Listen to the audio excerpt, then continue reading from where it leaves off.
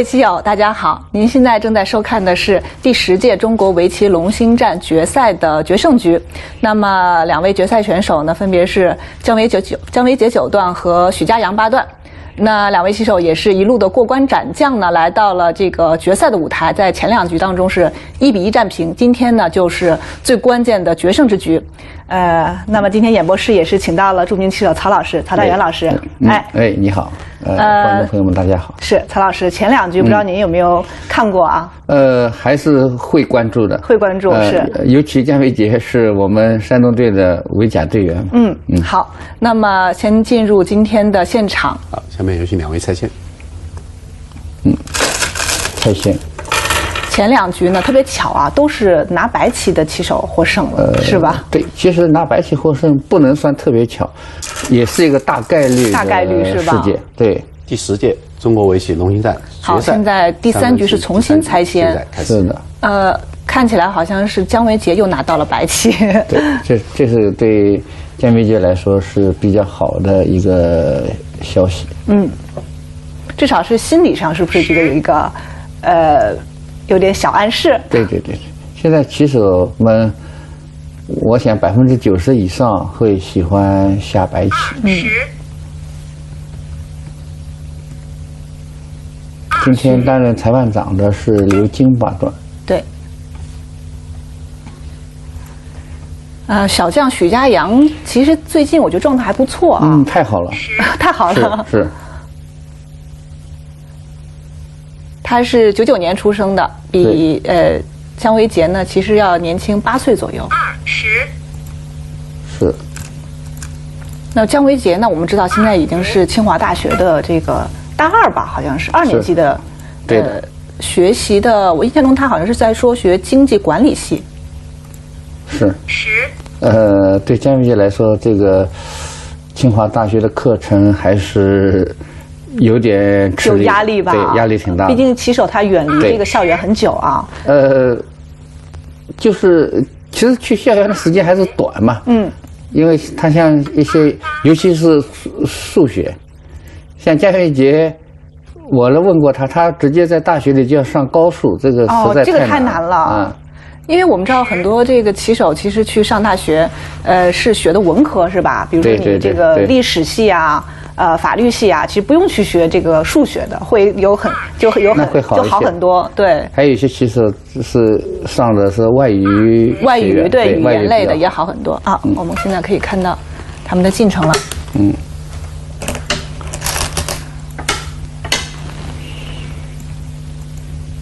十。嗯嗯，最近虽然是点三三出现的特别多，但是。棋手们落在棋盘上吧，还是下星位还是比较多。是，嗯。二五。也有很个别的棋手会下在三三的，呃位位置上。现在是守了一个星位。对。这个有一个小目，棋盘上是有三个角是星位，一个小目，但是黑棋没有选择守小目。呃，这是这是现在的就人工智能时代的一个手手脚的一种流行型嘛。嗯。之前的话，呃，围棋的理论都说是小目手脚比星位手脚对价值更大一些，因为小目手脚的话是两手就能。取得实控了。嗯，这个小木卦，然后星位的话，我们初学的时候老师会教你的，就是星位角是三手角，要要在这个脚步走三手棋才能。小飞在小尖是吧？对对对对对，起码是这样。二十。嗯，不不，目前这个布局还是都是很流行的。对这个。紧啊，紧接着挂上了。这个挂，这是 小江比较喜欢的，对，江也也是也是现在对，也是现在很流行的下法。这个是不是叫金毛流啊？啊，这叫金毛流哦，这个我不是太清楚。金毛，金毛也是一个很强的一一个人工智能，对，一个 AI，就是它呃，金毛是微信呃这个旗下开发的，实际上它学名叫凤凰围棋。但是为什么大家？因为他呀，在这个网上对弈的时候啊，他那个头像是一只金毛狗，金毛狗，所以大家就都叫他金毛，昵称吧。啊，所以呢，就是好像这个布局他比较喜欢下，所以就叫称为金毛流。对各个各种的 AI，它的行棋风格还是有所不同。有不同，对，蛮有意思的。这个现在现在黑棋是没有尖顶，直接这样子打入。对尖顶，它你你说的是尖顶小对我说目方向还是新位方呃，向？星位方向。新位方向，新位方向可能不是太着急，既然它没有尖顶，看黑棋白棋会不会拖进去啊？拖脚是吧？嗯，拖现在拖脚要比小飞要多一些啊，多多了多多了。啊。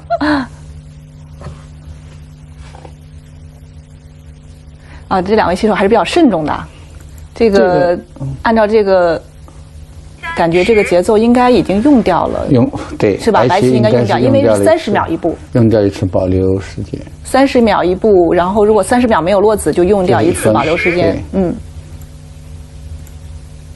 第二盘棋，我看他们两位也是非常慎重，就是是第，好像是第六手还是第五手，第七手，就是凡前几手就用掉了一次保留时间。啊，啊，白棋还是拖了。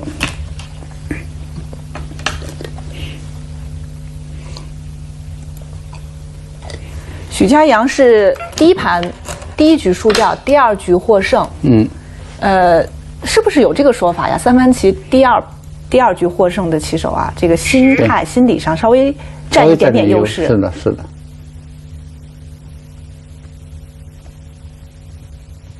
不过这个这个的优势也是微乎其微，很微妙，对对，很微妙。因为第二局啊，姜维杰感觉是有一个局部，似乎是有有漏算，就是有错觉。对，这对姜维杰来说也要及时调整这个心态啊。是的，关键的一局，这个出现了比较这个遗憾的失误。所以第三局姜维杰刚才那个拖就下的比较慎重。慎重，嗯，作为决赛的决胜局，三番棋的棋的决胜局来说，慎重应该是理所当然的。但是这个在这么早期，在快棋的情况下，用掉一次保留时间，还是有点可惜啊有。点可惜，因为一共就十次保留对对时间啊，对每一次都对挺珍贵的。谁知道后边的局面会出现什么样复杂的场景嘛？对，特别复杂的时候，这个多一分钟计算时间就要好很多。对，大吃接上，这个接下来是看黑棋是下去还是接上？对现在现在是是接上比较多，接的话，白棋应该会拐回来。那那肯定，因为下去的话，角地会被白棋所所占据。哎，他下去了，许家阳好像今天落子比较果断，马上冲下去。这样的话白棋应该会断，在、嗯。在外边给黑棋制造一一点头绪。许家阳呢，小将啊，现在今年、嗯。现在应该还不满二十岁，九九年，但是还没到生日，啊，不满二十岁。但是在他这个年龄段，九九年的棋手当中，他好像是等级分最高的。最高的，嗯。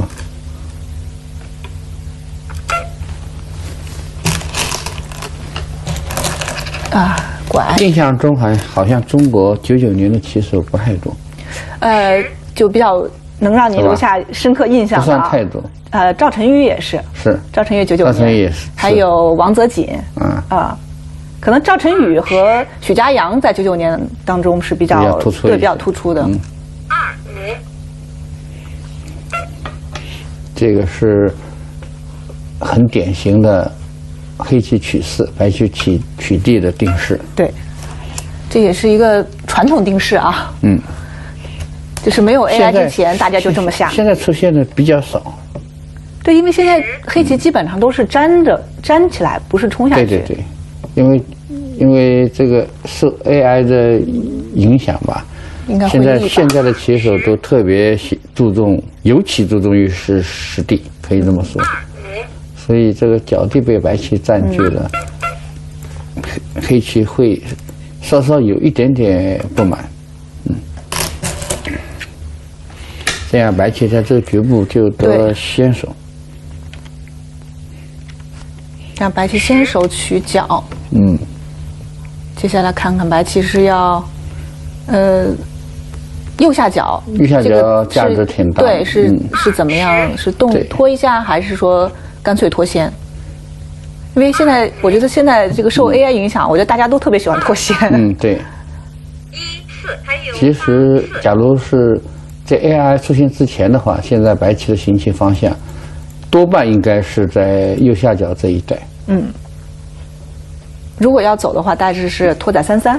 嗯，拖三三对，或者是不是尖冲也可以考虑？哎，尖冲，尖冲这里是吧？对，要么是拖，或者是肩冲，冲这都是可以考虑的选点。是的，呃，除此之外，如果要脱肩的话，我觉得原来连片一大家一直觉得挺大，现在好像这个理念有点变化，对，就不怎么连片了。现在很少还是这种手脚连片。对，这个对于这个连片的话，我想棋友们应该也是会有感觉的。现在在顶尖高手中出现的特别少。嗯，我想肯定也是受 A A I 的影响。是觉得这个比较空吗？呃，觉得就在在 AI 的眼里，你这个肯定都不是空，效率不它的手高段特别是吧？多啊，效率不高。哎 AI 的话推荐的都是这一类的手脚，哎，对它是它是哎它是手了这里手那个脚，对都是这样小飞，这样小飞，手手手脚，这种连片呢，如果说轻易落空的话，这个子效就要打折扣了。对，不如这么干脆画一手棋，走好一个脚步啊！黑棋尖顶，尖顶这对，手这一人一个，挺大的。挺大的。白棋现在难道还是不连片吗？哦，守了一个角之后再连片，是不是价值就不一样了？但是好像看 AI 的棋的话，或者说他推荐的点的话，很少。确实是连片小哈呃，就即便你已经有一个小飞手脚之后，它还是不了。果然你看看，它又是一个小飞这个手脚，这个现在分头又是一个绝好点啊！对，我们看到左边这边星下分头，好像要是出题的话，我觉得按照传统理念，这个这个题对对对，这是一绝对是一个绝好点，对绝好点这。个点是绝好点。但是现在白棋主动要把这个绝好点，对吧？这个让给黑棋。嗯，但黑的现在可能也不一定一定下 得对，现在这个理念都是 有变化的。您看，嗯，还是没下得上。尖冲，尖冲的话，可能间接的就是预防了白棋在左边成大空。嗯，同时好像黑棋也是在扩张自己，嗯用右边啊这个这一整整条边做背景，扩张扩张功夫对的模样。但这尖冲其实在在另一个点尖冲，在这个点尖尖尖冲也是很好的一个点。对，这上下对，上下这个怎么选择？对好像比较雷同，是吧？有点雷同，但是还是有细微的有些不同。我想这这两个点人类棋手是很难做出明确的判断的。嗯，这个可能就是更多是一种感觉了。嗯，做尖冲，可能觉得黑的可能觉得这一带比较虚吧，对，他可以加强一点自制力。不过这两手棋黑的也没有走到实质的东西。白棋现在应该在棋盘的右下方这一带行棋。白棋现现在策略应该是下的下的下的清清灵一些。清灵一些，看怎么来浅消白棋黑棋的模样。毕竟黑的已经有个尖冲了啊，它是选择在这一代这一代比比尖冲更更轻灵。更轻灵，对。尖冲他还觉得有尖冲他觉得会有点重。吗？嗯，皮实当然也是可以下的，尖冲如果黑棋贴起来。嗯，它长，长啊，还要长，嗯长。二十，嗯、好像也想要强攻也不太好攻，对，他会怎么样？像这样的棋手吗，反正觉得黑棋还是挺难下的。这个头拐过来好像已经不好攻对，因为因为你攻不着的话，这两手棋黑棋就有点落落空。这一带呢，从我的直觉上呢，觉得黑的还是有点重复，有点重复，对。这一带稍微有点重复。这个尖冲，也不是，至少。现在我的判断是不能不能说他绝对不能下。对，这手棋当然跟飘忽的也一一些吧，更轻灵一些。对，让让黑棋找不到焦点了。哦，现在黑棋应该也会用掉对一次保留时间，现在在考虑，起码是一次保留时间。因为现在的选择就是有关于这个今后的走向了，嗯、这个格局是稳健一点，就下面四路飞，气势上有点弱。哇，他走在这个大走在这里，哎，这个这个这个选点比较 对，比较奇特啊。这个选点的话，好像好像正好凑白棋。在你两个马步中间，对一个缝隙中进来，对。从这点来说，我觉得这个 这个选点不算太好，稍微有点，嗯，稍微有点怪，看起来。是。哦，白棋飞压，白棋是好形。对。白棋飞压是好形。白黑棋这个大飞是不是也是在间接扩张自己的下方啊？因为你要想吃掉白棋，下方的话，现在毕竟还露着口呢。对，这个尖冲下面还缺、嗯、还缺一手挡。对，二十。如果这里多了一个子的话，飞在这里是一个比较还算行，还算行，对对，比较正常。二八。这个地方黑的应该是不能冲断，冲断，冲断它就可以把这个子弃了。嗯嗯，那我就打是。回一个就可以。这样白棋通过七个子。把自身走后，对，其实白的如果更凶一点，可以走走这个，这个把这个空也都掏掉，什么问题？现在黑的三十秒之内肯定是未落子，爬过有点委屈。那他当时飞的时候没有想到白棋飞压吗？我觉得应该要考虑吧。呃，考虑，但是可能也不见得每个点都考虑到，确实是。有的时候，嗯，这个飞是不错的，而且这是飞是很紧凑的一步棋。这一飞黑棋好像有一点，有点被麻到的感觉。嗯、对，不知道怎么应。不知道怎么应，冲断有点重复，爬又有点，哎，哇！啊，索性又不理。又是大飞，这个这太飘逸了。嗯，这可能会有点落落空。这个境界太高了。对。但是黑的下来也是很有气势。十。这个白棋会挡下去吗？白棋挡下去，黑的要拆一出去吧。哦。这个子不肯给你吃。那这个控时控上就受损了，黑棋时控受损，那就整要整体攻击白棋。嗯。哦，黑棋的意图啊，就是不能让白棋啊太轻灵的处理，太轻松的处理好。是。呃。宁可自己稍微空受点损失，把白棋变得这个整体变重。哼，他的棋有很有。哎，这两步棋挺有意思的、啊，因为白棋两个大飞。因为白棋这个飞是眼看这个好点，不过应该会遭到黑棋这样反点的反击。四十。那棋白棋有没有办法把这个子留下来？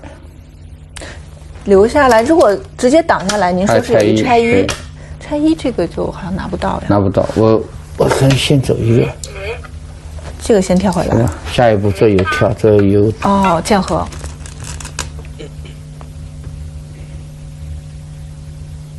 哎，这是好办法。他如果如果哎，那他哎，果然果然是跳了一个，这个跳就是曹老推荐的，这一跳两点剑合了。十，二五，二八，一。黑棋风险很大。您说的风险就是落空。落空，对。有点难办。因为这样，他就挡下去。嗯，这个子不能被吃啊。这个怎么办呢？如果还一路跳，一长，这它长了。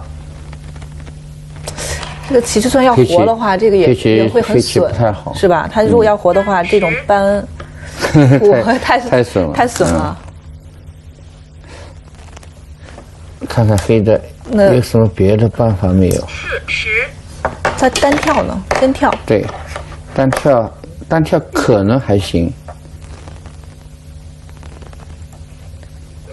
也是单跳的话，因因为也也间接的牵制了白棋从这里靠出来，嗯，黑棋可以在这里藏，对。这个地方有呃两个冲段，是。不过你跳的话，它有没有这个并刺一个？啊，并刺一个还是要下手还是对要打并刺一个你应该只有接，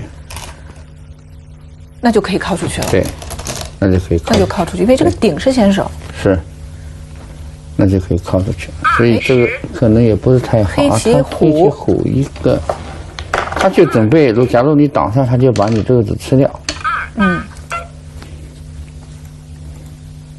把一个子吃掉。您如果打吃，他就提嗯，十再吃上去的话，那肯定那黑棋要他就。爬回去。嗯。哎，这棋白的哎，它是冲的。有意思，这个冲在这里，翻的时候白棋冲，冲。它表示这个是先手，然后看看那总那总是要要吃掉的吧？对吃掉，那就他在冲没什么东西啊，挡住了有啥？将来有打是提，这边断还好吧？十哦这样黑棋呢就很灵活的转身了，捞实地是吧？嗯，白的二十白棋还是要回过头来，还是要还是要靠出去。那么靠出去，二八但是靠出去是白棋的的权利。白的起码是可下，嗯这样子是白棋靠出去了靠出去了，对，这白的权利。这当初这个交换，黑棋这个这当然黑的棋是亏了，但是黑棋这一点这一点便宜，交得。对，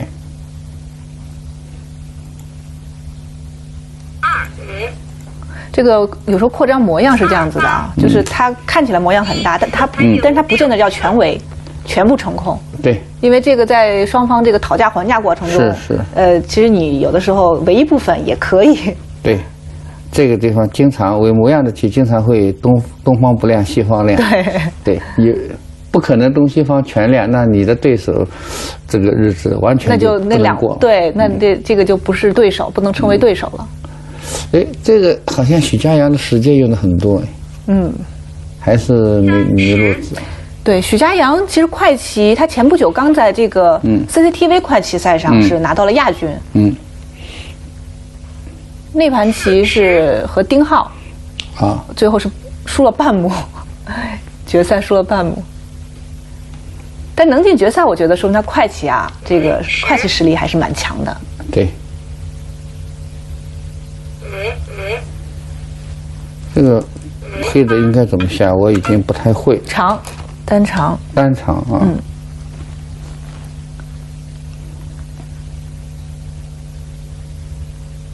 十曹老，这个局面是不是相对来说白棋要稍微好下一些？嗯，就就是像这样的场景啊，应该是怎么说呢？就白棋不一定它形势好，嗯，就是它的招法，就是您说的好下，我觉得就就是我是这么理解的，它就是比较容易找到点可以往下下。找到方向是吧？对，但是然后作为黑黑棋呢，你一招不慎，可能这个步调就跟不上。是。那也就是说，也不见得黑棋形势就不好。对对对但是现在这个嗯焦点不太好找。这手棋哎也一个也是意外的一一手棋，这种地方还要揪着对手不放。啊，这个地方黑棋应该是不能但是问够应手吗？是应手，看不能够接这个，大概不能够接这个，应该是。嗯 这个这个就中计了，好对像。这个被白棋断，断，它只有接这个不。知道怎么补了。对，那这这边这个这个边就这一靠怎么办呢？随便了，呃靠这个是吧？这个也行，靠这个也行都行。对，这样黑棋气太紧了。黑棋这样立的时候，黑棋应该是会像这个。单粘，对，十单粘一手。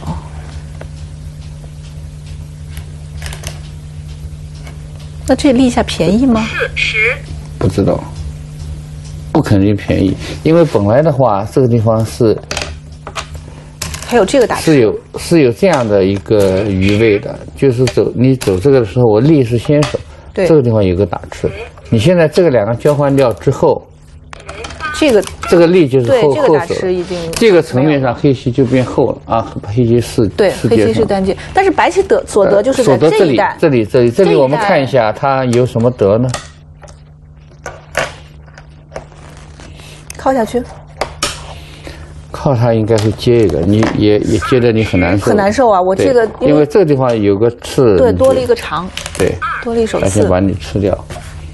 然后你这个子还没有把它拿住，那就比如说靠在这对里，靠这个，靠这个大概白的能有点眼位，顶一个。嗯，叫吃一下，叫对，吃一下。这一带大概有点眼位，但是也个对，你还不是很完很完整的眼位，因为你走这个的话，还是有一点点不舒服的，这地方被对手藏一个。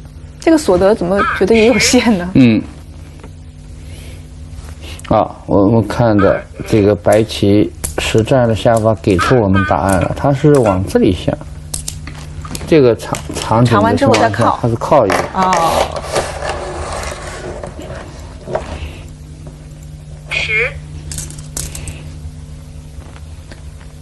如果是靠的话，他将来不准备从这儿出棋的话，那倒是可以，好像是这个逻辑是通的啊。他干脆就是把这边看清，但是但是是看清他如果立，这个是本手吧？然后再靠。哦，是这样想的。，对，那么白棋就是想法还是比较想在这里有想眼位，对，把自身走后，做几做出一些眼位。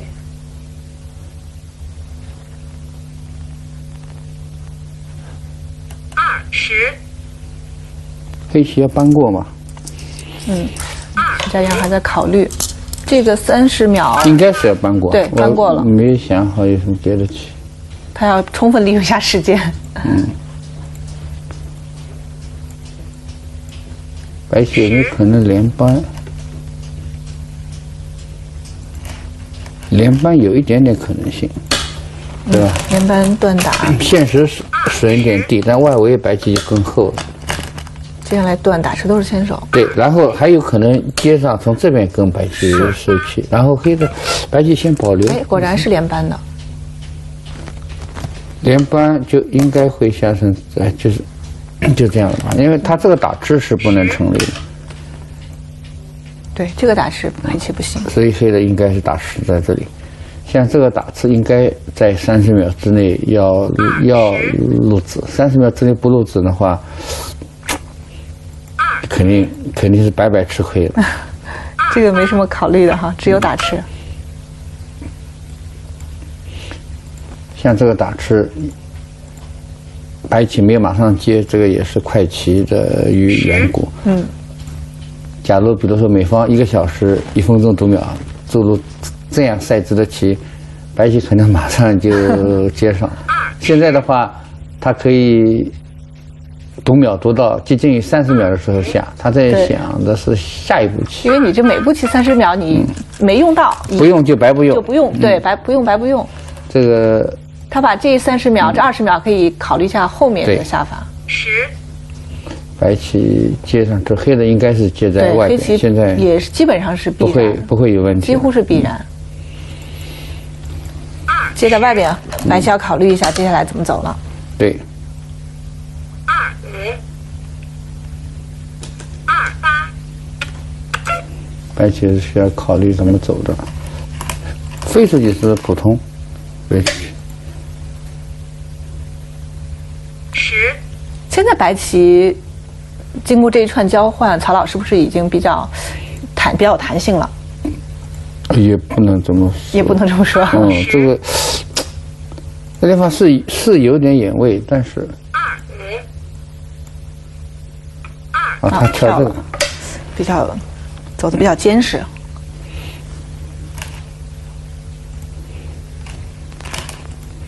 十。嗯，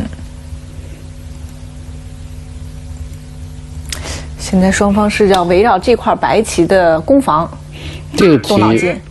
黑棋的下一手太想下在这儿，二五飞过来。二八是的，白棋其实虽然做了一串交换，好像你说他已经活得很清楚了，也没有。对，哎，黑棋是拐的，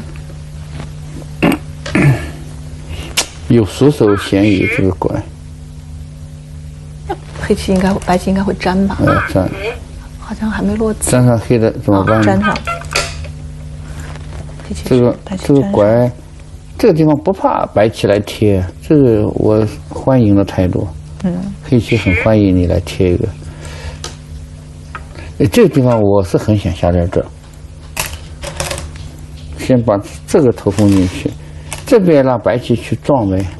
哎，他跳，十跳想拐还有拐呀、对，拐是可以拐，我不一定拐。我要拐吗？不用拐。不见得会拐啊。嗯，这一带也还是有些先手，先保留一下。啊，黑棋曹老，你看他是拐完啊之后，他是要从这边下来，这是他的思路这个我觉得黑的方向有一点点问题。啊，被白棋跳出来。嗯黑的觉得这样形势就好了。黑的如果判断现在这形势好的话，黑黑棋的理由就基于他在这个脚步，他觉得这个实实地收获的还是实地收获特满意的别大。八一四还有不过确实是这个实力，我觉得也不少啊，捞的。二十五目棋，黑棋这个脚步的水空不会少于二十五目，但是 白的跳出来之后，黑棋暂时就失去了攻击的目标。看看这个局部是黑棋是准备脱先还是怎么走？三十脱先现在往哪下？黑棋继续追，继续追击白棋，好像也没有有可能要落后。对，好像也没有什么明显的好点。四十是的，因为对于这块棋来说，黑的有可能从这儿进攻，有可能从这儿进攻，现在还不能找到明确的点。对，现在好像被白棋这个头跳出来之后，突然失去目标了。是，脚里清风，走走大场，哎，他还跟着跳。跟着跳，现在他还是觉得这个跳大，跟着跳，我还那白觉得棋会有一也在接着跳吗有？有点意外，我还觉得。这个跳是吧？对白棋黑棋会不会会不会再再手一手，再走一手？嗯，也有可能，二十也有可能就不走吧。现在不走也有可能。二五二八曹老，我觉得这个棋白棋如果跳出来，将来啊，嗯将来如果说白棋这个再贴下来，哦哦，那那那是这个怎么觉得白黑棋自肯定薄己还有点薄啊？肯定薄了。十你在这，就这一点，这个不用贴，我点发点点先点你你也很难受。，对，有点难受。嗯所以这跳还是有反击的手段。是，也挺想不过。真不下的话哎，，黑棋白棋没有走了你，来我就来这个。对，白棋现在先点，一四还有三四现在白棋要发力了，姜维杰发力了。嗯，这个是很积极的想法。因为这块白棋现在确实也不太怕，它基本上断一个打吃一做就活了。嗯，你现在这个不见得冲得着嘛，那我肯定已经活了。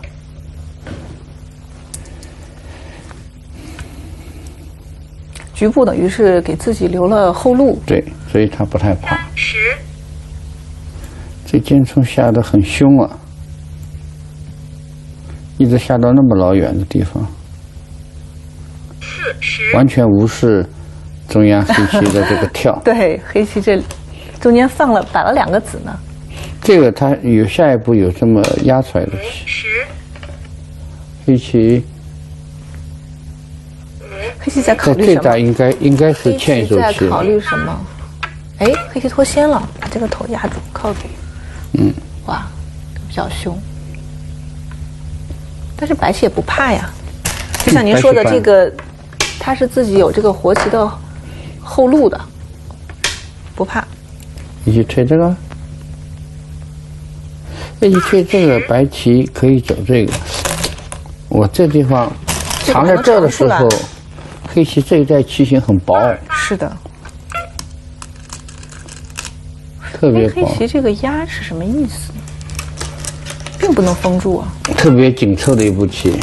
但是像这样的行棋，紧凑的反面很容易就类似这种棋变成熟熟手。对，十白棋这个应该要补。白棋虎到这儿的话，这个自身眼形，对，那那是断一个打一个，一做肯定对，这个肯定活了。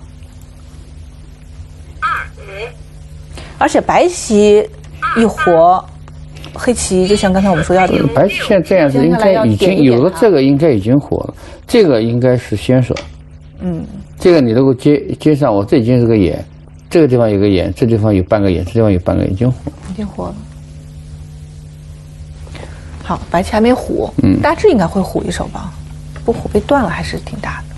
那那这这是有死活问题，总是要补一个也是要补的。嗯，还有别的方法吗？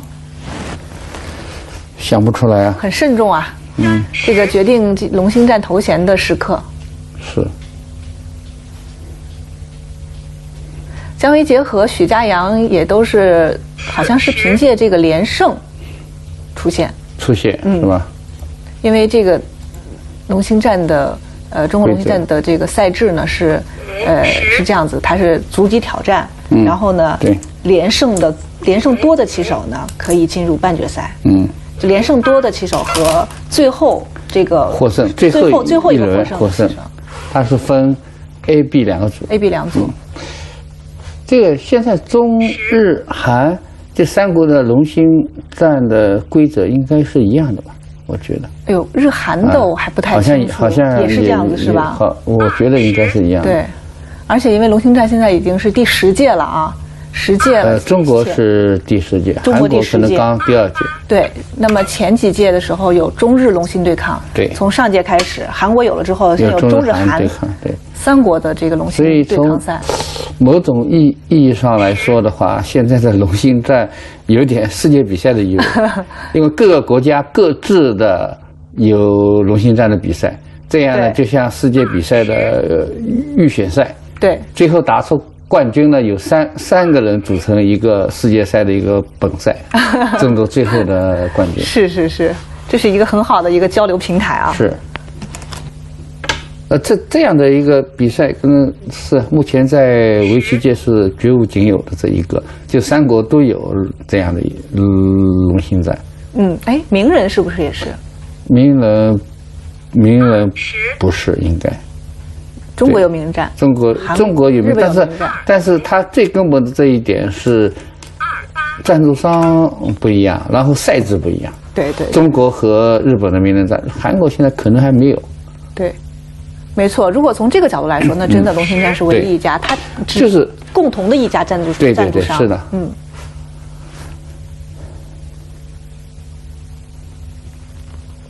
你觉得这个曹老？我觉得黑棋下这么飞，下哪里啊觉得子力有点重复啊。有点，我觉得不是不但是重复的问题，因为好像还外边不厚。对，这个怎么觉得今天许家阳的调子有点，哇，黑棋呃白棋又脱先了。进攻的时候，白棋已经脱先两手了，挡下来。二十这地方不担心黑棋往这走一个吗？像这种地方，不是有一段对打完虎过来吗？呃，那我冲这个的时候你要不要？比如说你现在走这个，嗯，对，打吃，一虎对，冲我我这个冲冲下来还是有点大啊。呃，我能先粘住吗？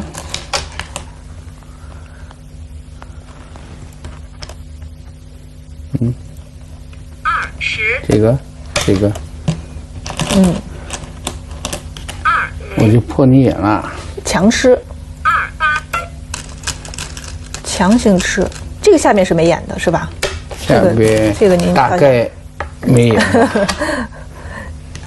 十大当然，这棋呢死是也不容易死的，因为这个白棋如果是先看的是先手的话，这一靠就靠可以靠出去。哦，二十，不过白棋黑棋不过，假如我觉得啊，白棋假如这个地方刺一个能成为一个先手的话，不就看得更清楚吗？这样的棋，您说脱先之前先交换一手是对吧？对对，这个先不挡，呃，先先不挡了，不要下先下刺手，这，个没有，就这是。先手刺一下，他他现在这个没走着，总是有点担心的。十，把机会要把这个走掉。这个棋形呢，白棋并不是像想象中那样，这这地方一搬就搬过了，这地方黑棋有个跑出来之后有个挖，嗯，这里还有打了长出来。哎挡，这个局部次序有意思，挡一个走这个，二十，然后白棋是白棋大飞，大飞又抢了一步大长，嗯，然后黑棋打入，这时候白棋小尖，一次，对还有二次，这个刺 这个小尖好像感觉像是大飞之前先刺一个是比较正常的。早就想刺，不过现在总算白棋刺到了。这一次基本上就？这一次是不是就高枕无忧了？这对个死活对，没有问题了。假如你你接上，我就高枕无忧。了。呃，如果把黑棋黑棋接住，白棋现在在处理上面这个是。这两个字，这个地方啊，这个局部刚才说了，搬过可能呃有问题，就是它又跑出来，嗯，跑出来，我们看一下这个图，它可以挖，四十，挖的话你叫吃，这个它接上，你提掉，它还可以有这个有个打吃，这个等于是联络不了的。对，这是一个图。然后呢，另外有一个可能性呢，它是可以在这里挤过，挤过不过也是同样的，这地方它跑一个之后，你还是过过过不去先。打吃，对，十，这个你还是过呃过不去，联络不了。啊，现在黑棋是刺的时候，黑棋先在脚步长一手，但是这个这棋没接吗？先长，先长啊，交换一下，是打将。我觉得是打将，同时呢，也是就像曹老刚才说的，防他度过。他怕以后走不着吗？他以后你搬走不着过是怕走这个时候怕白棋走这个，一般不会怕。嗯，这个角还是很大的。那就是个打僵。不，呃，这可能兼而有之。兼而有之对，又是打僵，又是觉得可能在某种场合下，这手棋也是对黑棋也是需要下，因为这个长一个自身，如果能可能保留，还是应该保留，是吧？可能会亏个四分之一目、八分之一目 这样。好细啊！因为因为这棋是这样，提掉的话，这个角，这个角以后如果是以这个作为边线的话，气拳顶上啊，这个地方有有有个挤的，对，所以长一个长一个白棋总是欢迎的。哎，对，白棋总没什么不满。二八，不，这棋呢，都其实脱先了，哎，这个棋不怕冲吗？怕这一冲这棋这棋脱先，其实黑的是把帮白棋解决难题了。对白黑棋为什么不粘呢？粘我，粘了，要大吃这个。对呀、这个白棋白棋处理呢是这样，可能白棋可以靠一个这样处理。虽然搬不过，但是这一代是先手是吧？曹老二路小尖这一代都是先我我我，你这样我就搬过来，哦，你在长我给对挡住了，是。所以你走别的，也不好下。不是，所以说我虎下来要要搬所以他他倒是能够处理。对，还是能处理，但是这一跳被冲过去，对，可能这两个子吃的小了，要吃就是在往这个挡是要对挡住，断呢，长出来。敢不敢长出来？你我觉得是断哪边要长哪边的样子，可能。嗯，断了，十，啊，断了，这个长出来，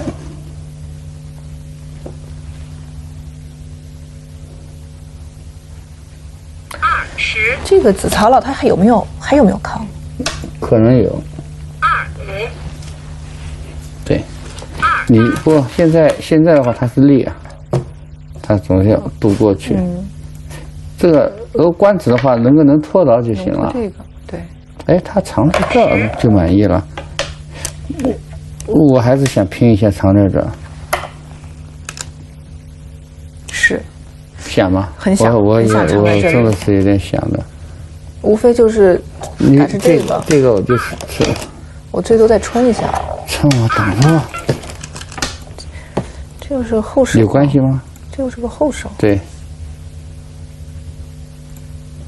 后手。哎，但是这个有对，翻过。呃，这个有挤过，有挤过，这就有挤。过。对，哦，哎，那那我就直接挤挤过了，他还是怕这这有个挤过，有挤过，挤过还是蛮实惠的对。对对，嗯，所以这个哎这个还还不行，藏不行，所以他还只能藏。这个吃小了啊，对，吃小这个吃的，有点小，这个这被靠近了，还得补一个，补一个，味道还不太好。这地方还有还有可能被二路托它收刮啊，这个这黑的有点难受。这个两个子吃起来不太舒服，嗯，那不吃被他靠回来，不是全白下了吗？哎，这个不好办啦。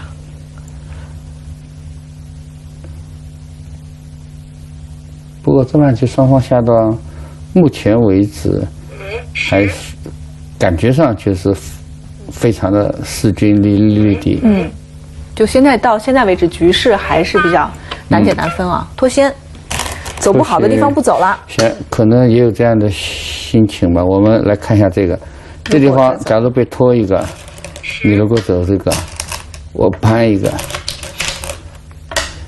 这个我挤也挤过了，搬也搬过。对，都过了。对，所以你如果走里边的话，这个吃的太小了。这个还要滑手棋吃吗？对呀、这个要吃还得滑手棋，这所以太小了，所以黑的也也没心情不愿意，没心情再吃了。。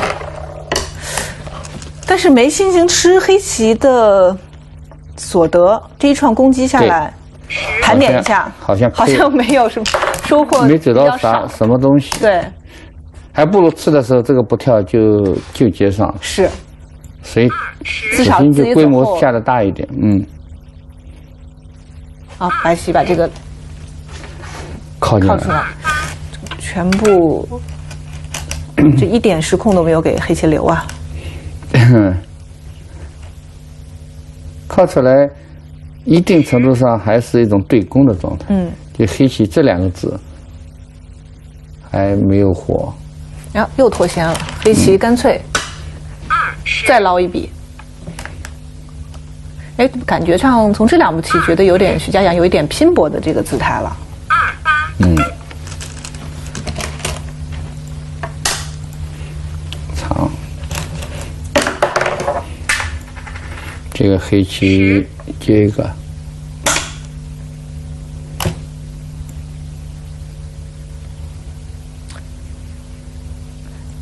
二十许家阳连捞两步逃了，我觉得也不失为一种策略啊。对对，既然既然连捞两步，现在白棋这个小飞手脚好像也变得薄一些。啊，猜一，现在局面进入一个乱战，也是很不错的一对步棋，嗯，现在局势变得比较混乱了。黑棋是不是以自己这个失控为代价，把局势变得棋盘变大？二十二五二八呃，这地方白棋现在看来，白棋马上动出会不会有点早？早吗？呃，但是他露这个时候，他有信心在脚里硬吗？如果能先手顶一个啊，那翻掉那，那是先然后再先先，那靠出来是先先手。呃，现在黑棋小拆拆一过来之后，脚上先会两个子，嗯，然后白棋这一块好像呃，都有一点，都有点收工啊。加在这儿怎么样？四十加这里，先把自己一边处理好是吧？嗯，我也我也供着你的，你走这个我还是要藏进来的，对吧？我这个点就是基于这样的一个考虑。嗯，加热好棋。哎，它点了，好奇嘛，我也不知道下边应该是怎么样，或者我就出现。这两个加，也许有点便宜。你看它是点这个。这里，点这里被顶怎么办呢？这个这个有点熟手的意味。二十。二五因为长靠出去，靠出来。跳也要被靠出去，这样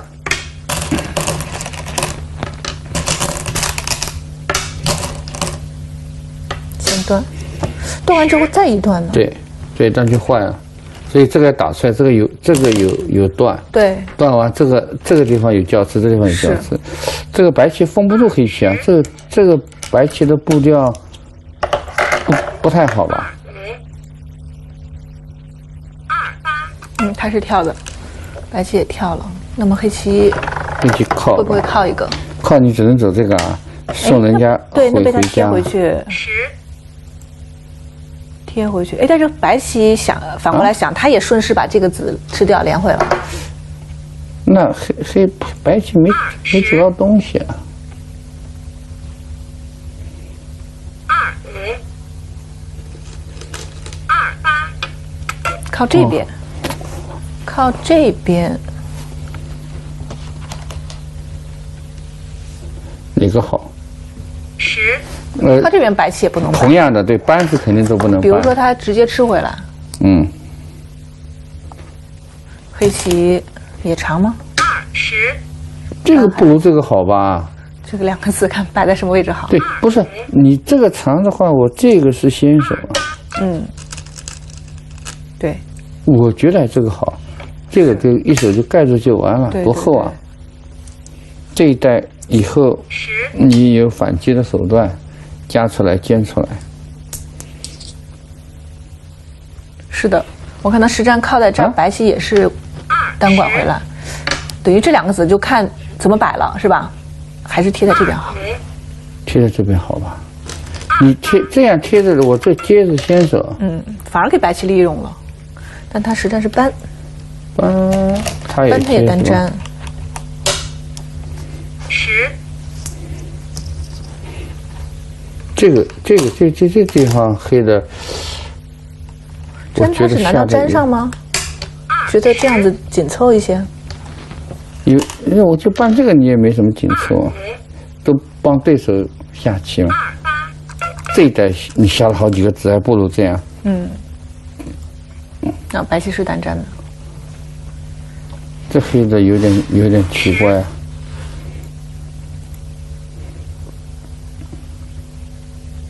黑棋有敢粘吗？敢粘这个吗？二十但这个你本身也不一定便宜吧？我这个是先手，马上还要冲断你，缠过来呢？拼了！传过来，传过来，你太拼了吧？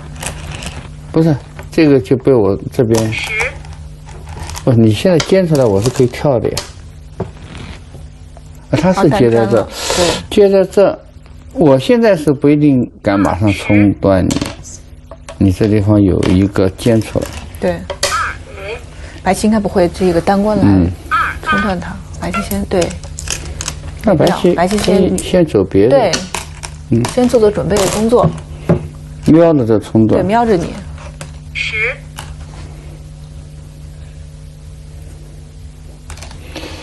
黑棋是爬，二十要爬吧？二五还在考虑爬太大了，还是爬了？爬要爬，这个不爬被挡住，这脚步活也会活得比较委屈。十接下来这始终是留着一段，嗯，但是白棋看根据情况哈，对，十因为这个白棋冲断还是黑棋粘回去都是单关，本身这个价值并不大。跳，嗯，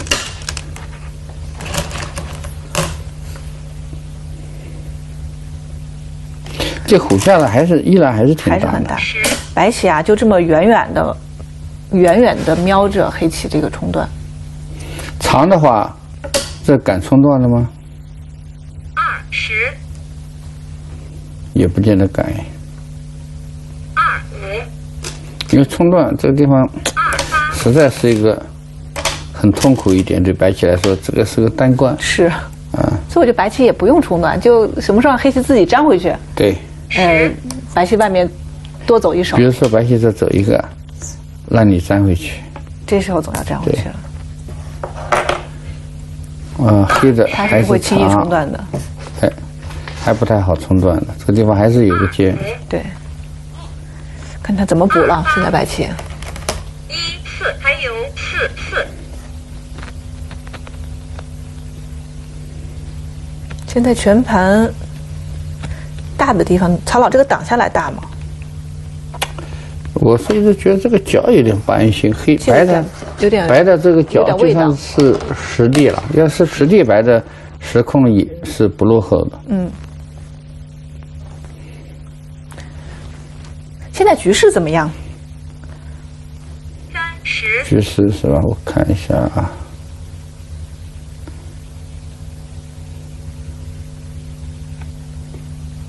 这块这块空还是二十五目，嗯，这个大概七目，七目，那三十二目，嗯，这个接近于十目了，四十二，四十二，这个这个还有几目？这个。三五目其中有的，对，四十，三它五目起先算，出那就四十七目。对，黑棋有四十七目，比较还算是比较确定的目数。对，但是白白棋现在有一个未知的因素，这个能不能多算它的这个角算多少如果多算它的目的话，它已经有二十目强，嗯，二十目强，这个是二一二二一二二三二四，二八二六二七二八九三十三一三二，三十二，嗯，这个这个如果乘个五六目，三十六七。对，哦，那黑棋也还可以、也啊，就黑棋实控应该是不落后。对还是可以的。呃，这个地方是白搬棋搬，对，白棋希望是搬了这里成空，黑棋是希望马上就断吗？这个力量这么大吗？嗯 力量太大了，有可能。怎么感觉黑棋是一种觉得形势不好的这种拼搏的姿态呢？啊，单长了，下的很紧凑。哇，这长命令型的吧？是不是下一手下手棋要冲断了？不，这这这一带都很薄很薄啊。冲不理了。哎，我们接下来这个地方比较关键了啊！嗯看看黑棋，完全是进入黑棋是怎么办？双方有点契合的对，现在比较进入契合的状态，黑棋下哪了？没下，还没下。看黑棋也契合了，跳一各行其事。这个中间呢，嗯刚才说白校成控的这个这一代是没有了，空位打消了。对，而且现在跳了以后，白棋是不是自己有一点保尾了？但是黑的整个这块棋有没有活？比如说白棋补了以后，先自补一手。你现在再连回去，人家是不是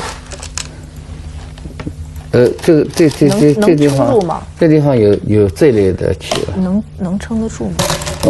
十漏洞是肯定有的。这个漏洞肯定有的，所以轻易的话，黑棋不能从这里接回去。哎，那曹老，我能不能把这几个字看清啊？但是呃虽然你能看清，但是也也很重，也也吃的挺大的。要把这三个字割下来是吧？对，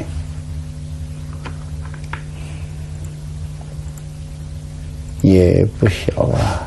嗯，看白棋拼搏一下还可以什么藏进去啊什么的。嗯，你接我的时候，有点讨或厌或者还有连扳，对，嗯，我们看现在白棋是靠，白棋靠，小勉强。一万，啊，黑了就忘，那白棋应该是外边交吃一下。这一带的连路黑棋还是在连，白棋还是要连啊。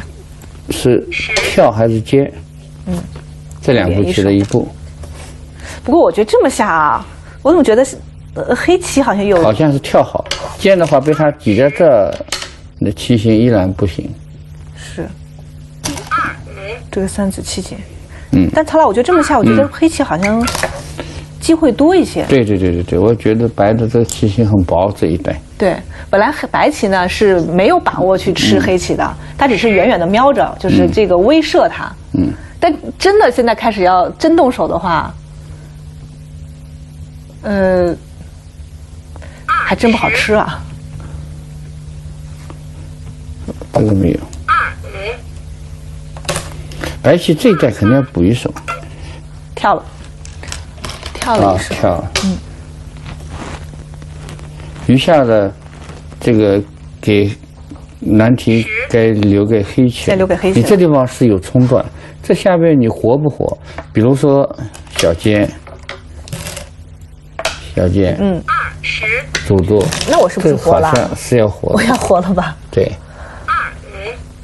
走这个，您您走走粘粘上，我就粘上，至少是个，是不是至少是个双不是你粘上我，这个是先手，完了我有个袜，嗯。即便你这里有一个也没用，我这地方有个外袜，哦，有袜的这个棋，那活了。就是一袜你这两个子就掉了。嗯，你要补的话，我这一做也肯定活。对，，一活的话，的白棋所以还有活的棋，那我们看实战，它是黑棋上面先小尖了一步，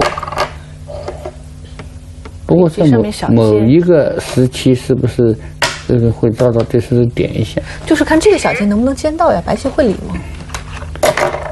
对，不一定会理那白棋现在是脱先了，啊。它是小尖这里了对，现在小尖白棋退，哦，这样。白棋先走一步，这个这一退呢很有价值啊，把自己走后了，有一手棋的价值。那是那那么白棋肯定得下。对着黑棋，你这个小尖总不能自己去做活吧？不，？现在这里能搬过活，现在死活没问题啊，当目前没问题。这能搬过是吧？对呀、你就是断我吧，嗯。断我，比如说我我接上，你还得补一个，我这肯定活了。嗯。嗯，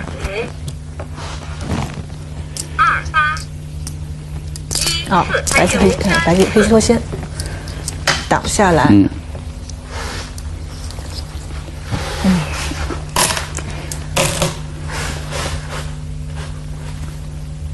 这个现在问题关键就看看这个白棋的这个左下角，这个左下角对，左下角怎么定型？呃，是不是 D？？要是 D 的话，白棋还是能够坚持的。对，然后这个 D 被黑棋破掉，那它时控就不够。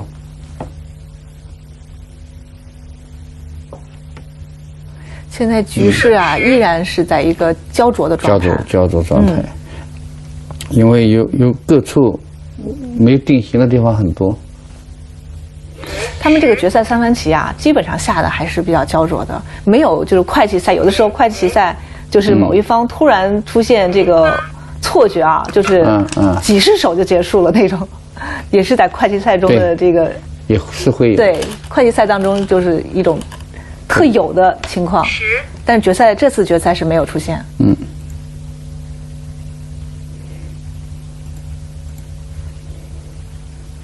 觉得龙兴站现在也举办了有十届了啊，嗯这十届当中，从这个预选赛到决赛那么多期当中，我印象中好像，我印象当中手嗯数比较短的，好像六十多首还是七十多首，呃，可可能还有更少的。还有更少的对吗对对那个时候就是突然出现了这个错觉，对。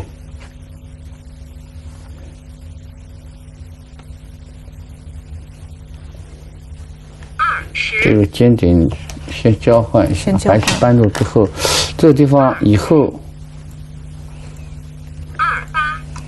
以后白棋下法很多，甚至可以单断。都有有突破的可如果打。吃，十、我这个不不能出来吗？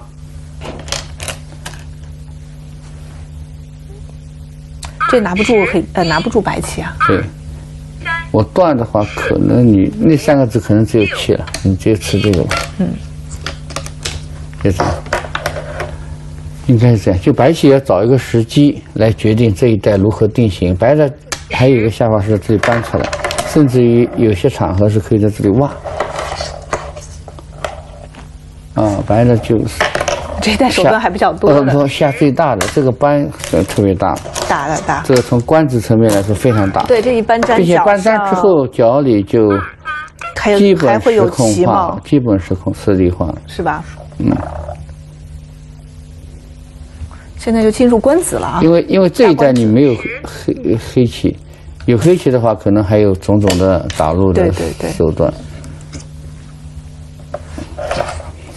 现在进入大关子，关键我们看黑的会不会补？你补一手，断点很很显然，补一手是不是有点慢啊？再虎一手啊？那肯定，哎呦，真虎了！哎，那难道是觉得形势不错？呃，那那那肯定。现在黑棋觉得黑的错，觉得是吧？形势形势比较乐观，所以这种虎啊，就是心态比较好的时候，心情还不错。是，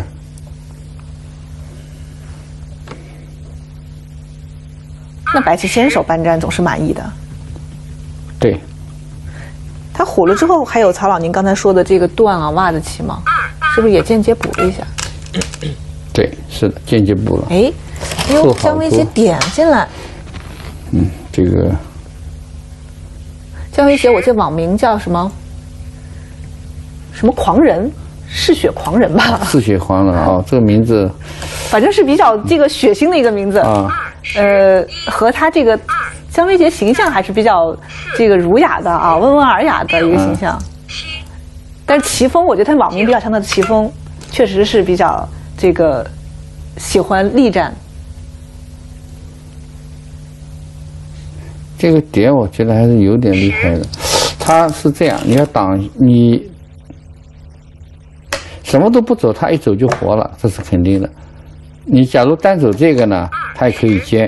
你这个时候来点呢，它可以跳回去。好，就二路一路小跑就可以回去了。对，它这两个可以弃，对，所以可能点不倒。它现在是，现在你如果搬过呢，它搬过了这个关子它就便宜了。而且这个这将来还有冲断啊。这个地方有有冲断，这地方还有断还有挖，哎，那它这个点是好手啊，对点非常好点这个时机特别好。十、啊，我们看点，而且点白的白棋黑棋能挡住吗？挡住他是怕他这个，这样的局部是不活是吧？这个这局部不活，哎本来是小小尖险，哎，曹老，我可以搬个搬个力吗？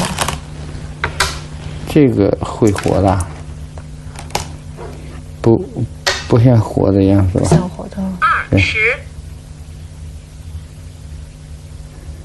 不活，二、五、活的比较局部这肯定是，然后你这有断点，这地方你还没有完整的联络，这地方有，白棋有搬出来，那有点问题啊。等于黑棋花了一手棋那是，十、花了一手棋，他以为补已经补好了，这个被点进来之后，如果是出现问题的话，二、十、一、二、他是补在这儿，然后五、六、黑棋万，白棋万，他这个棋九、往对，是不是补往上面？往这补怎么样？补这个，他先把这边，啊，这个冲段小了，是不是？冲到你现在去吃我这两个，算了，对呀、是的，干嘛不补啊，上？干嘛不应该补？这个吧？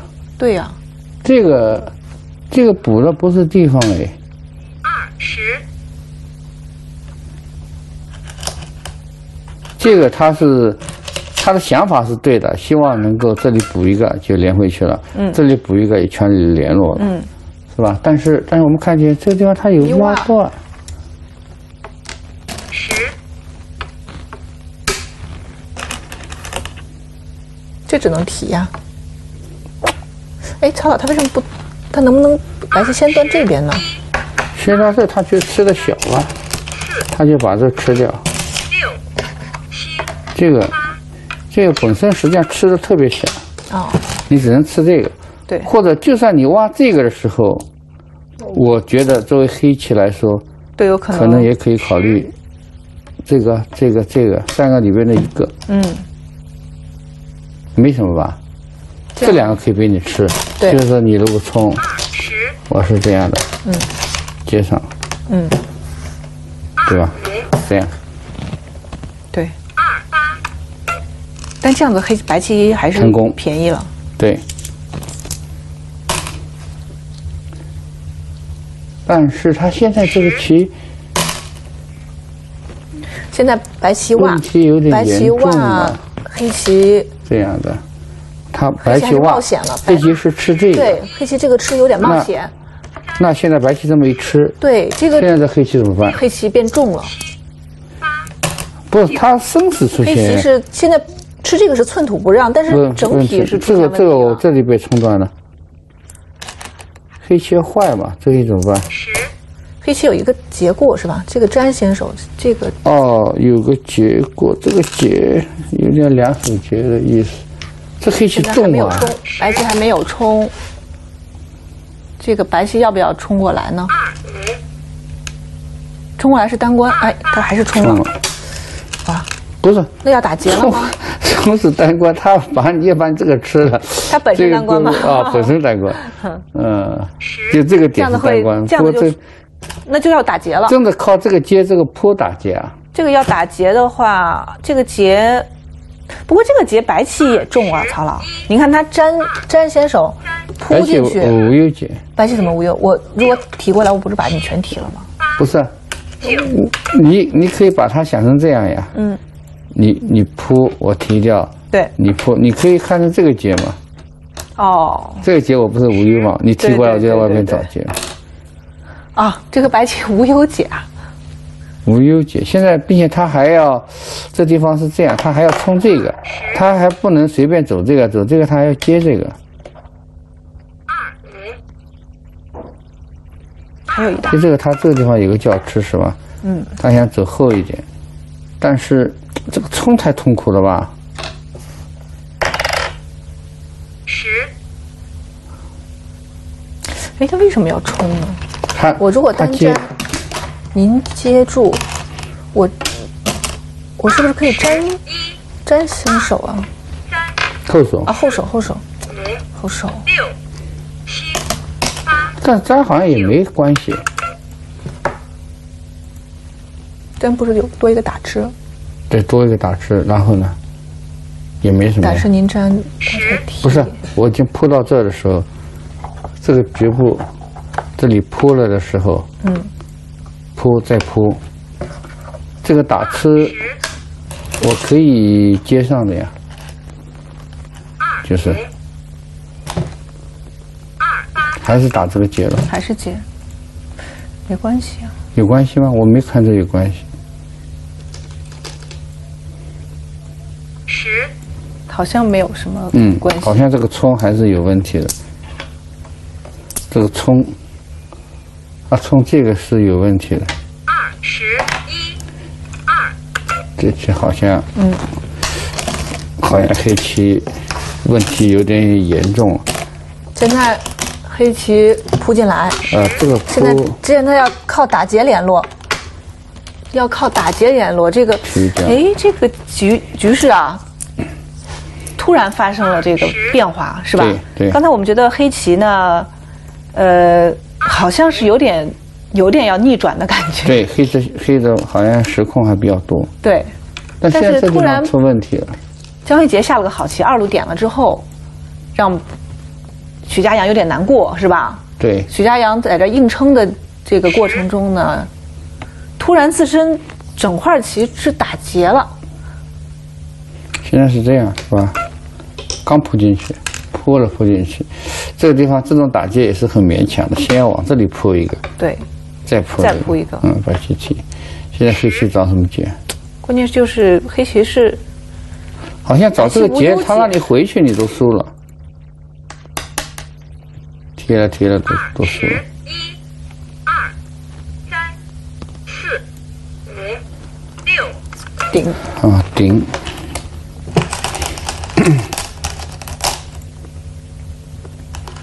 顶是劫吗？不肯定是劫。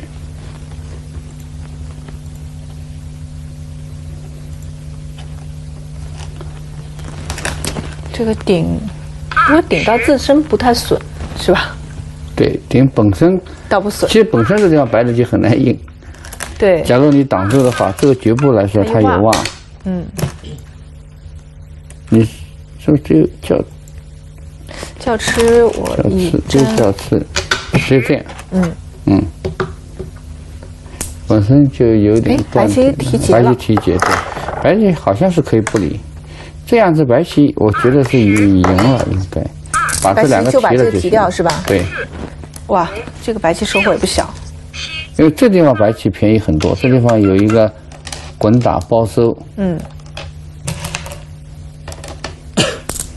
以后还可以藏藏进去。这将来还能吃回来。这个白棋空应该已经多了。嗯，现在现在是这没提没提提提提了白的应该就可以了。这个这这个就已经收获够了，是吧？这个没有，这个收获足够，足以取胜了。姜维杰这几年好像拿了 LGB 世界冠军之后，好像国内头衔似乎没有拿到。拿过名人，哦，对，姜但是明人，但是 江明人之后好像是很多年前的事情了。江明人是就最近有很多年，我记忆中有很多年没拿国内的头衔战的冠军。当然，世界比赛也是世界比比较著名的一冠王。一冠王。对，他好像开启了这个一冠军对当时起点。当时詹维杰拿 LG 杯世界冠军的时候，是中国棋手九零后当中的第一个。第一人，嗯对对对，他是呃，二零一二年战胜了李昌镐九段，拿的 LG 杯冠军。是。哎，现在白的一直在考虑中吗？我印象中，当时姜维杰九段是嗯拿 LG 杯是，大家感觉是平地起惊雷的感觉，就之前啊对他知之甚少，突然就有一位这个年轻棋手拿了世界冠军，我有这样的一个印象。因为当时中国九零后棋手毕竟还没拿过世界对，没有他之后，像陈耀烨呀、周瑞阳啊、石月呀，这才是陆续是呃开始夺冠。这个下的很强啊，姜维杰。哇，这个两个子提两个子还不肯、啊，对，这个会形成什么结果？不过它当中它滚打对，有很多自身本身节，有两个很舒服的结，这个有点精彩了啊！他提过来。现现在白棋中央这个这地方是有两个劫材，这地方有三个劫材，一个、两个、三个，一个、两个，一个、两个、三个，再铺一下是吧？对？有三个劫材。三个节菜，打吃，这个节这个很舒服啊，对，本身又是又是本身节，又是收该会官，提掉。三、下边应该会提吧？嗯，六、七、八、白棋提过来，白棋提过来，这个局部呢，黑棋是不活的。嗯白棋除了这边的劫，还有什么劫？也没有了。黑棋的劫财，黑棋劫财可能更少一些。对，主要黑棋也没什么劫财。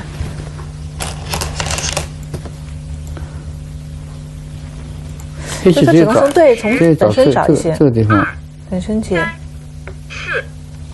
几吗？它是不是就粘住？八、九、粘，这个吧？它，冲。冲这个，啊，十、冲这个是。他这个是先先手，这个，他就粘住了，再冲这边。十、你现在肯定不能不走，不走他这样把你吃了，五、这样吧你吃了。嗯，对冲的时候还是白棋粘上了。最后后时的接一个，这地方白棋不给黑棋机会了。白棋现在带这个劫，全盘还有四个劫，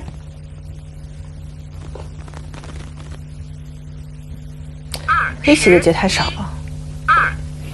黑棋好像有三个劫是六挖一个，打吃一个，接上冲一个就没有。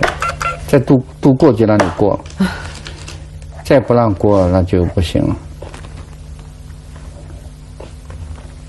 十生父再要看这个结争了。呃，二十应该是白气有利，白棋有利这才是白气有利。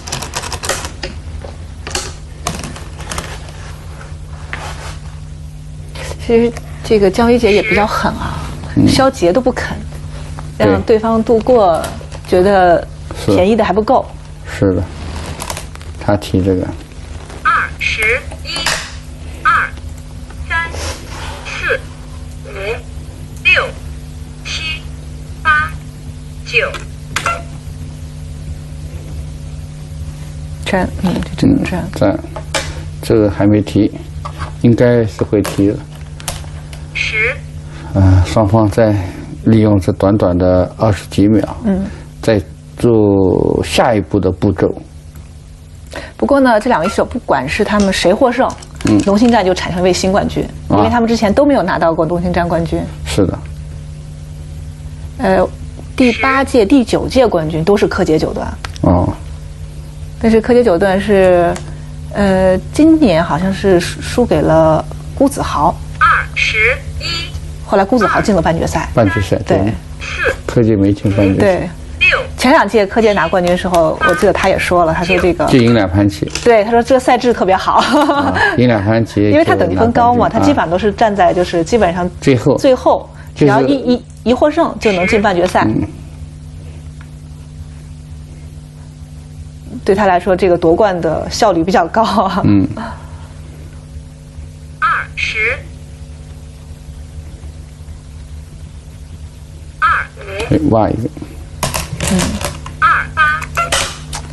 也有点损是吧？这个劫找的，对，他应该是吃进了，这个没办法找损劫。嗯，再提。棋白棋白棋应该会断脚上了这边脚上有三个结，十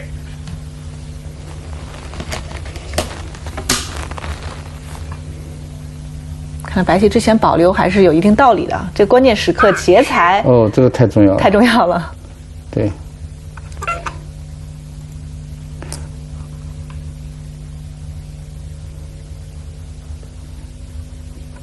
黑棋打不过白棋，打不过，嗯打不过还黑的形势还是不行啊。嗯即使联络回去也是你现在是能联络，从这里以后什么一路一班，呃，联络给你联络，但是白棋提过来，对，可以把这连两个子都吃提掉。嗯，先手，白棋获得先手，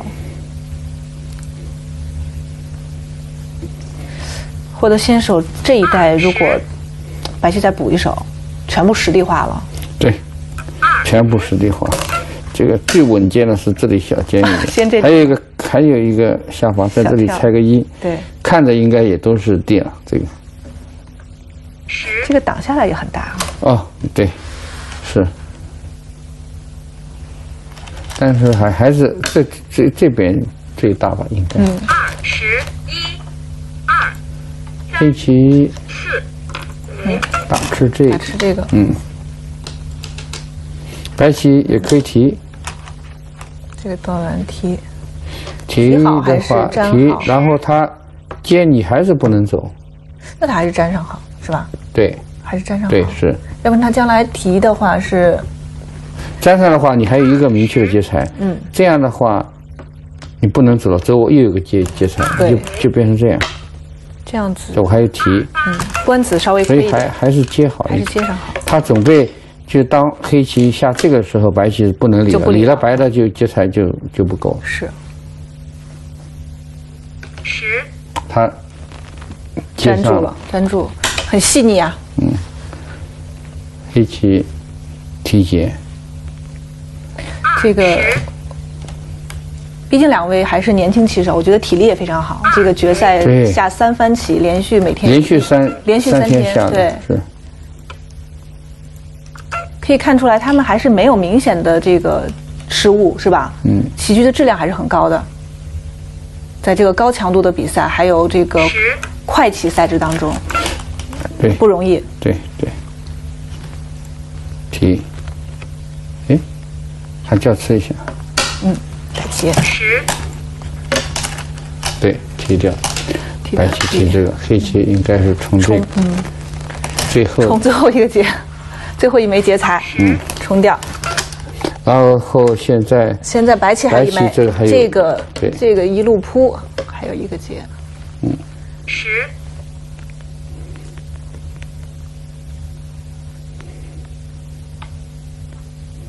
有时候看高手打劫啊，也是一种享受。二十打劫过程找劫财啊，是不是算劫财啊？对，这个很体现水平。其实高手在打劫时候，跟我们业余棋手的心态也是一样的，也紧张的不得了的。是吗？但我经常看见这个打劫的时候，就是某一方巧多一枚劫财，怎么就算的这么清楚呢？啊、这个这个可能会会算的，呃，比一般的业余棋手会好好一些吧。是否则他也不能称之为是职职业棋手。职业棋手，对。你看白棋之所以敢开劫，是吧？对他已经计算清楚了这个劫财，巧多一枚，哎，但是他为什么没找劫？二五找了。这是决定性。哎，我们早就放在那了。对，这个因为现在只有这一枚嗯眼见的劫财，然后这一题好了，白棋应该现在是不会再硬了。无论是搬也好，尖也好，扳，扳是不是好一些？扳劫财再多一，反正他都不会硬了。对，不能赢了。扳着好。立呃扳的话，如果白棋硬，将来黑棋还有一枚劫财。嗯，二好，不硬了，提。哎，他是提。现在啊，该轮黑棋讲，现在黑棋还没上。但是我突然发现一个问题，现在白棋的下一步是提两个还是提这个？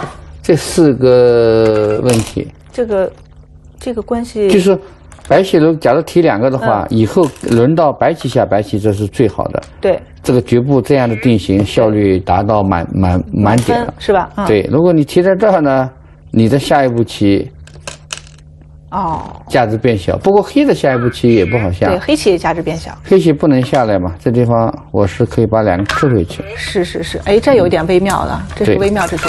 好，我们看，实战它是尖，白棋消劫是消在一路了。应该不能立了，立了就这个小江早就看清楚了，不过十啊，然后他是选择提在一路，他觉得这地方有可能以后小江的觉得是白黑棋在这里以后先下的可能性大。。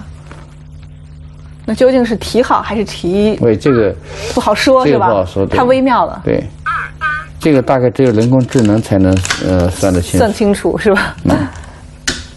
啊，这个所以说，很多你说职业棋手计算啊，嗯有些直线的计算，局部的死活，它确实是可以百分之百，是吧？嗯算得很清楚，因为非生即死嘛。但是像这个官子，呃，就像这个题这个这个真的很难，这太这个是提这个还是提这个这个设计面，这个深度就是这个深度是非常计算量非常大。非常大。这个这个猜一有点像胜利宣言，胜利宣言嗯嗯毕竟是这个决胜局啊。嗯。徐家阳还是要还是要这个再拼搏一下，继续收官。二五就就让他走着吧，立就走。如果你肯搬，我就很安心的，全部是空。这个挡也很大，要不要挡下来？十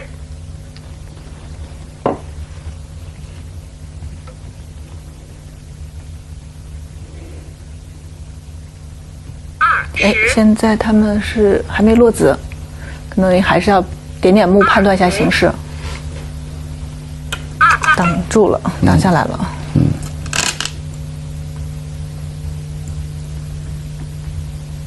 现在局势怎么样？我们要不要判断一下，给大家点点目呢？可以。假如黑的就简单的搬接，那我们这一带全部算黑白棋的空了。这个是十、十一、十六、十七、十八、十九、二十二、一、二、二三、二四、二五、二六、二七、二八、二九、三十、三一、三二、三三，起码有了三三、三四、三五、三六、三七、三八、三九、四十、四一、四二、三四、四五、四七、四八、四九、五十、五一、五二、五十三亩。呃，白棋如果算黑棋度过，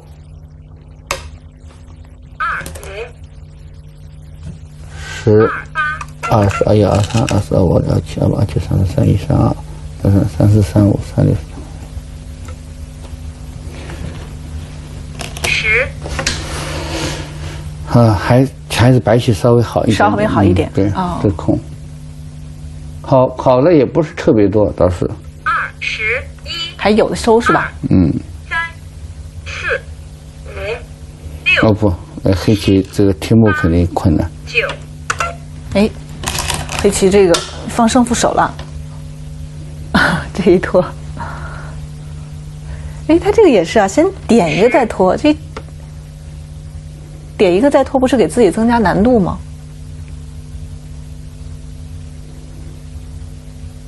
二、十、这个拖是有点有点白棋稍好一点。是在打僵吧？哇，这个姜维杰吃的照单全收啊，嗯，一点都不手软。那你这个拖进来的棋变成损的，十、啊，姜维杰还刚才很悠闲的喝了一喝了一口茶，是吗？对，十、一、二、三、四、这个这个时候还有空喝水，看来、形势是对，胸有成竹了。是的，现在是白棋好。十、次。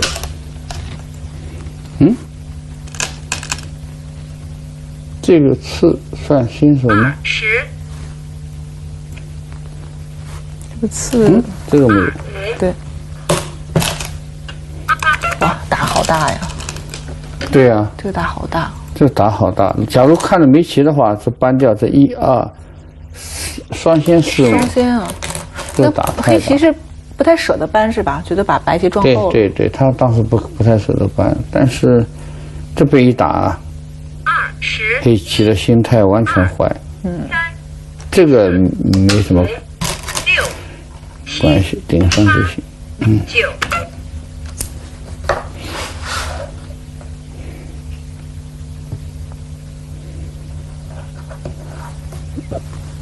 十、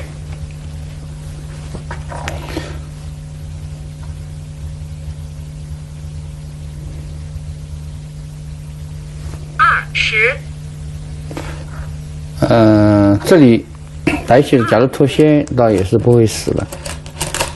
不过这三个你不能要，走这你直接走回去，直接来顶断的话，白棋是活的。对，可以打吃。这十、不黑，因为因为黑的可以先吃，先冲这个，嗯，这三个被吃掉也特别也很大对所以白白棋用。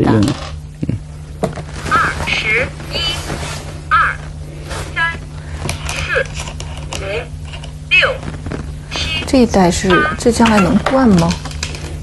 能断，这个可以藏进来是吧？长一直就有啊，长一直就有，长哎，长你如果断子的话，我长你也只能只能走？走这个对，这样我还能吃两个。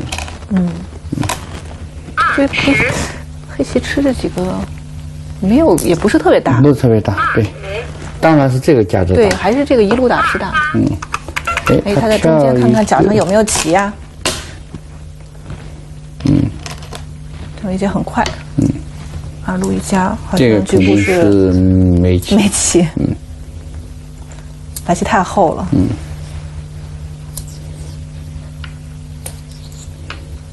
听说江维杰在这个清华读书的期间，还和这个人工智能对弈呀、啊训练呀，对对对非常频繁，是的非常用功啊。所以你看他上学之后，好像成绩并没有什么影响。十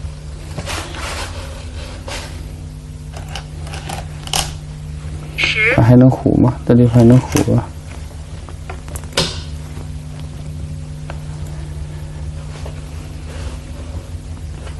二十这盘棋如果白棋获胜的话，那就是姜维杰二时隔感觉有五年了吧？我印象五当中年足有足有足有哈，五年以上。五年以上，这个再一次取得头衔。对，再次取得头衔。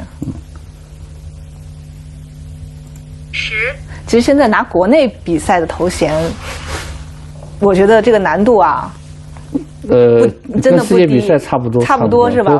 不能说比世界比赛高，但是也也差不多。呃，对我们有些中国棋手认为，国内比赛头衔比世界冠军要还难拿。难拿。但每个棋手也不一样，你看像连笑，嗯，他就是国内头衔拿的比较多，对，是吧？对。对因为现在无论是国内比赛头衔还是国际比赛的头衔，嗯，二十基本上都要赢五盘左右吧，单淘汰连连胜五盘，对并且在五盘是进入本赛之后。是。二八一四还有一因为国际比赛有的时候前几轮呢，可能还能抽到欧美选手，嗯，对，就相对是吧是轻松一些。可是你下国内头衔战，啊，每个人都不好对付啊。对，是的。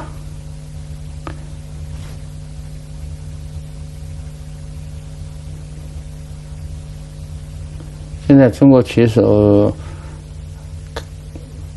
年龄段来说的话，从二零零三年之后出生的嗯。一些小棋手已经开始冒冒头了。已。经冒头了。零三年以后是吧？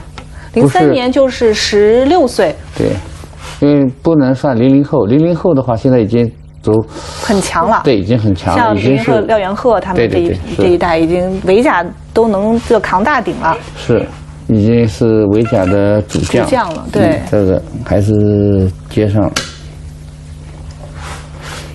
像你比如像姜维杰在拿第一个这个世界冠军的时候，他也就不到二十一岁啊，嗯，很年轻。其实现在感觉好像姜维杰怎么有一种老将的感觉哈，但是你实际上想想，他也不过二十八岁啊，出名还是太早了，成名已久。是。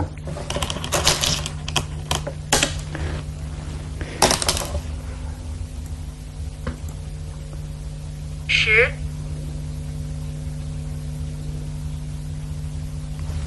现在是棋盘是一点点变小了，是。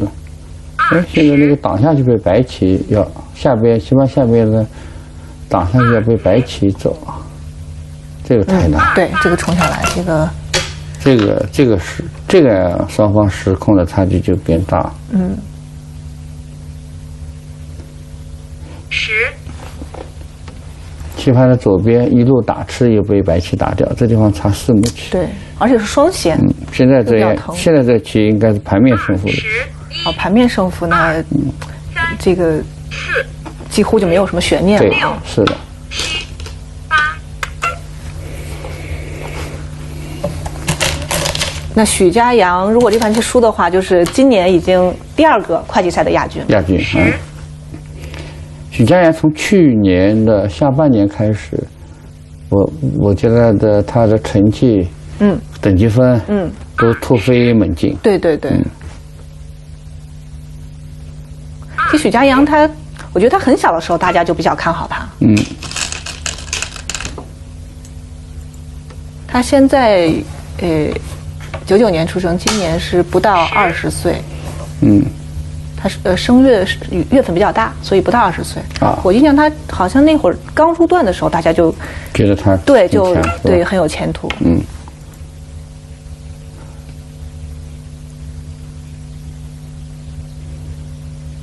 因为那时候我记得他好像下过这个和女棋手的，对于就是新锐对女棋手，嗯，因为那时候小嘛，小的时候这个年龄差一两岁、两三岁，差别挺大的。嗯。但是他和于志莹他们下好像就似乎不落下风。啊，二五，二八，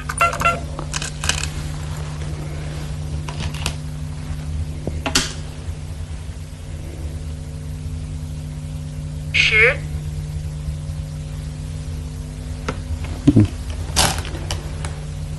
这个当中还有点薄啊，白黑棋。二十一，二，嗯，把这个吃过来，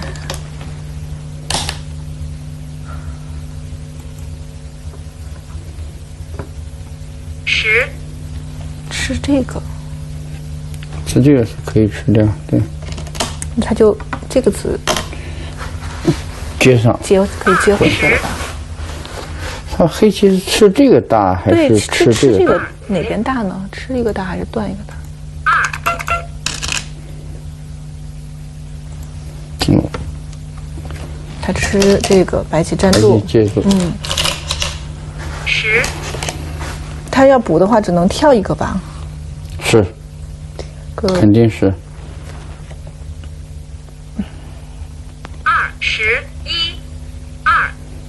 跳一个就目就有点小，六，不算太大。这个九，嗯团了，团团这个，呃，团现在这样的话，白的提下面是是不是对？就对了。也不一定对。但是我当时提这两个子的话，那这个这个很早双方就会走了。对，但是这个也其实也不一定对，就这样也不一定对。本来是提在上上上面的，嗯，这个地方现在白棋这个地方有两目棋，哦，对哦，这地方也是两目棋，哎，那对。那，这么算的话，总是提上面对了。提上面还是提上面好，哦，他如果总是补在这儿的话，嗯，就相当于现在让白棋选择是提对，就这样，提哪个？就这样，那还是提上面大。是是，这要吃这个地方差不少，看来。二十哎，怎么现在白棋黑棋走哪儿了？三，四，可能没看到黑棋走哪，白棋一跳，不是黑棋走哪？哦，黑棋团，黑棋团啊，黑棋，团，白棋跳，白棋，跳，黑棋冲，这个冲不能冲的吧？这个这个冲感觉气很紧啊。这冲被往上一挤怎么办？挤不归了都，这个气很紧啊！挤不归了，张维杰这个完了这一挤，这个马上就结束。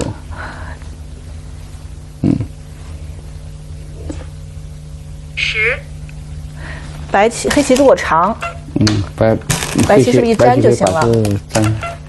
啊，许家阳投资人负，哦，哎呦，棋局结束了，也恭喜张维杰啊！对，这个小小江，事隔很多年，在我印象中事隔很多年，再一次六五年、六年、七年都有可能啊啊，，没有具体获得算过，很多年。。我们没跟他好好查一下，记忆中他是名人的挑战赛输给了联校，呃，输给谭校还是联校？他是啊他名人是在这个 LG 杯世界冠军之后取得的，是吧？对，他这个 LG 是一二年去拿到的，更早。对，哦，那差不多。六年左右。哦，嗯，那段时间他这个姜维杰战绩特别的出色。嗯，哎呦，看这个这举举后两位棋手复盘，许家阳还是还是面带笑容的啊，嗯 并没有显示出非常的呃难过的神情。毕竟年轻啊，这个来日方长。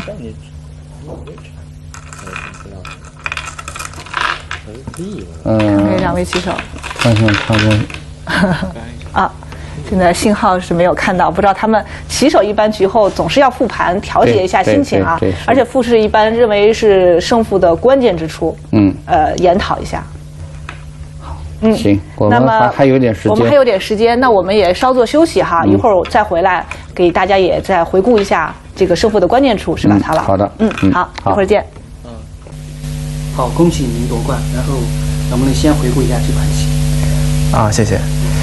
嗯，这盘棋布局我当时自我感觉还行吧，左边这个定型，但是中间有一个地方他那个被他那个我那那块那块那块棋被他靠进去，当时感觉走的有点问题，被他封住，然后这个后薄一下子一下子逆转了。当时觉得如果能跳出来的话，就别让他靠进去中间那个地方。当时觉得还行，实战被他靠住了以后，当时就感觉不是太好。那那您那个就是消结的时候已经看得清楚了。啊，后来我觉得他就是中间那个地方被我冲断以后，他那一串走的有问题。嗯，最后就是他他的败招是下面他没看见那个地方被我被我被被我给挖断了。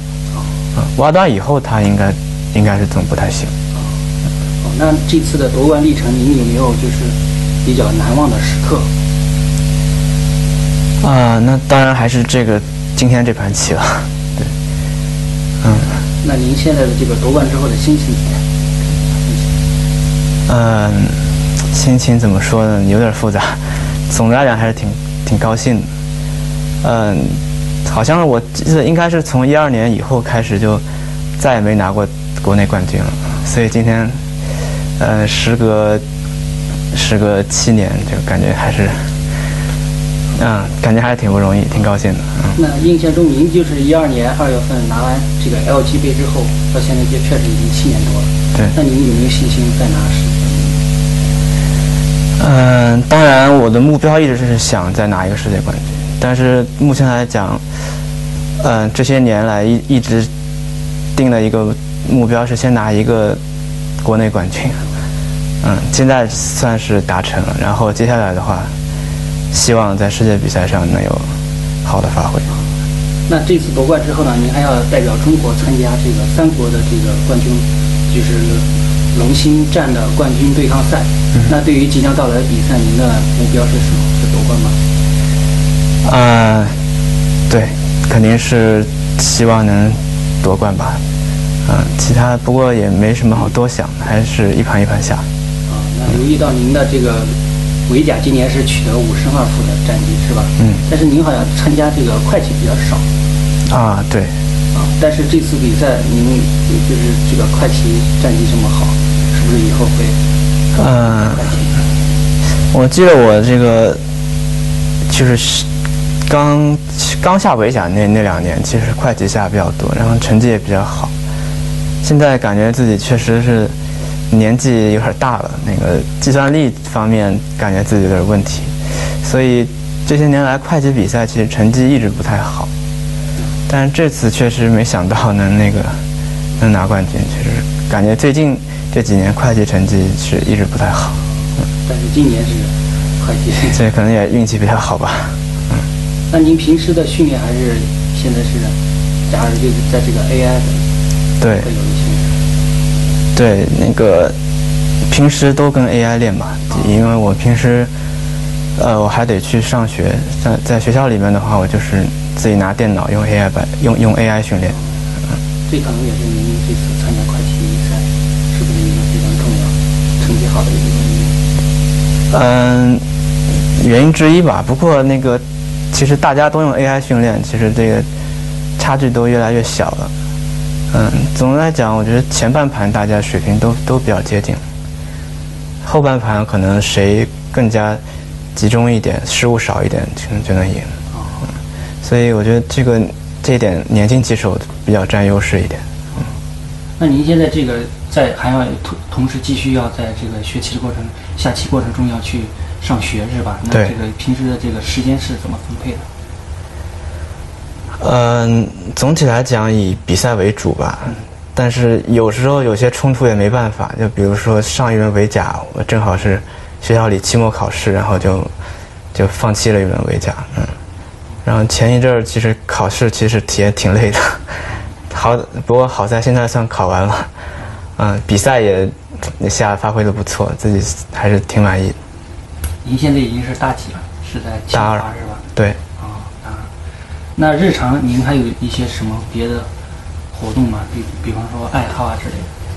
嗯，爱好的话，我一般是户外运动比较少一点，一般就去跑步啊什么的。嗯，然后平时是喜欢看小说、电影、动漫这种。嗯，在其他的也没什么，然后也也比较忙，既要兼顾学业和比赛，也比较忙，可能也没有太多的精力干别的事儿。嗯，那能最后再问您，就是最欣赏、最最钦佩的棋手是哪一位？最欣赏的棋手，我我比较欣赏李世石九段。啊，嗯，好，好，谢谢。好的，欢迎回来。那么曹老刚才也是听到了这个新科冠军啊，哎姜维杰九段的这个采访，他也这个复盘当中也提到了，说他认为这个最后的胜负关键处就是在这一代，对对对对，这一代最终形成结争之后，他感觉那就基本上拿下了。嗯，那也是我们其实我们刚才对局过程当中也是发现，在这一处啊，好像黑棋应对是有后来好些，像一下子怎么会就是对对对对对，有些可以推敲的地方，我们可以再给呃观众朋友一起来回顾一下啊。现在是进行到现在这个局面，白棋点，这这个点很厉害。对。这个对也是最终是诱惑黑棋，犯了错误这一误。代黑棋，假如要完全联络的话，还是很很困难的，就是肯定是要丢盔弃甲。现在我们看黑棋这块有冲断，对，然后这一代呢是有有弱点，可能是有有对对有段，可以姑且看作有两段，对是吧？对对但是呢，这边是有联络回家，或者是眼位，对，或者是黑的斑这一带，你要来分到我的话，我这一带就是有眼位了。有眼位，啊，嗯，作为白棋来说呢，它这个点的意图呢是想你，如假如你挡上的话，我再建，这样你在下边就不能存活了。嗯，这个棋呢，假如你单尖呢，黑的是可以小小尖这个对，，这个时候你再来点呢，我可以跳过，这个时候你冲，我是可以挡着这个，挡这里，你现在断不了我这个，断这个对我可以吃在这儿，即便你冲了，你你也不能不能断，断我走这个走这个，你你都都不行。是。所以，所以这个棋，假如他小尖能尖着的话呢，白黑棋这这一代是有个活活就地做活，嗯，因为这这局部啊，黑棋这个是先手，有这个一挖，嗯，这两个子就就连不上。了，对，所以这个棋型黑棋是活活活棋，并且你点的话它可以跳过，跳过你吃的也就很小，哎。就这两个子都很小，所以呢，白棋要先点一个，这个时机掌握的这个还是不错的一步一步棋。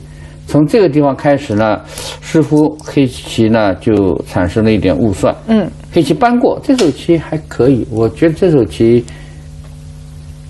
算它是正解也没错吧。嗯，因为假如你现在白棋从这一带着手的话呢，黑棋可以挡下来，这一带它的眼位这样就是这样是活棋几乎活了，嗯，对，是，嗯，并并且这地方呢是这样，黑棋假如走这个呢，这一带就是只是这个这个层面官子会亏一些，对。它的联络不是很很好，对，但是还是能够联络，不会马上就死死棋了，或者这个也没问题，所以说这这样的黑棋安全系数是比较高的。对，那么当当黑棋搬这个的时候呢，白棋是先把这个是走回去，这个是对的，对，这本身呢也是一步大关子、啊，非常大，对。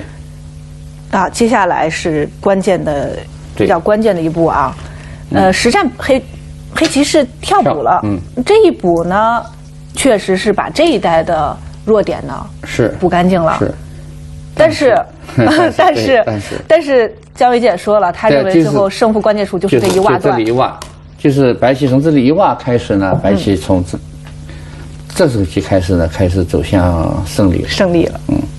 呃，这手棋他当时可能没有好好的计算到白棋的这个袜，他忽略了这个袜的严厉了，是吗？嗯正常的下发，我们现在回过头来，正常下发，比如说黑棋补回来，对，黑棋应该补回来。现在补回来，这一补回来，他有这一代他是有什么担心吗？这？一代不用特别的担心什么。嗯，对，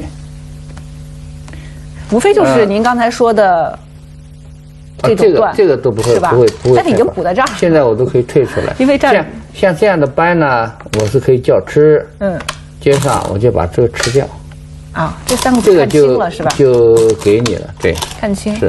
你这边已经也损了一些，大当然是挺大的了，嗯。就是，不过这个是，这就是白棋的权利吧，可以可以看作没没办法，因为这一代呢，白棋有这个手段，所以黑的呢也是是在这里补了一个，但是他这时候补呢，不如补在这里好。这里是小问题，就是让 让白呃白棋占一点便宜。对，官子便宜。嗯，呃，如果呃如果黑棋现在虎上来，呃，白棋在这一带呢获取一点小便宜，这个局势可能还很漫长。对，呃，最终胜负很难料哈。是是是，这可能可能目前黑的还是还至少是不会差的。这个、这个局局面的话，对。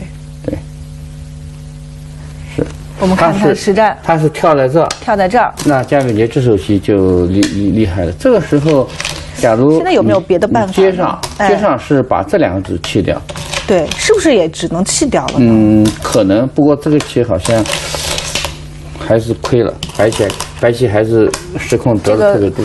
对，这个粘这个粘又是后手，不能再走了。不能走。这样的白棋收获也很大呀。这个对，收获很大。这个一二三四五六七八九十，然后这儿还嘴里还含着这个一二三四五六，含着六七目棋，整十几个目棋，整个的白棋全厚。对，便宜了十几目棋。是。所以这一挖，是是这个新冠军制胜的一招啊。是的，这个这个挖很厉害，突然就变变成整个的，后来变成白棋的黑棋的整个的一一大块变成变成打结活了。结了，实战黑棋是吃在这儿，嗯，白棋角吃，黑棋提掉，白棋再在这里角吃。那么对，作为黑棋来说，除非他是劫财真的是非常有利。不过我觉得他这个冲好像也是个问题手。对，单粘是吧？单对粘，从局后来看，如果说他，哎，白棋是不是也可以补在这里？那不是我这个不是一个劫财，我不冲总好了。哎，对，这也是一枚劫财。哎，但是我劫财不一定肯肯定不见得是劫财是劫财，但是我不冲这下总好了。对，嗯，如果白棋也是粘的话，这边官子插不上。呃，对，会会会差一点。这样子还是打劫。对，还是还是打劫。哎，他实战为什么要把这个交换掉呢？他他这个不交换就交换不着了吗？直接打劫他可。能让你一起，当时是这样，你如果扑他提，你要你再走，我就又提了。嗯，对，联络不上，嗯对，只能先交换。后面就是被一挖之后，好像这个有点一本道，是吧？对对对，这个棋就不好办。嗯，尤尤其是这个时候黑棋还冲了这个，嗯，冲这下的话，好就就这个局面就看得特别清楚。有点雪上加霜的感觉是。，呃，不过这不冲也大同小异了。嗯，就是作为白棋来说的话，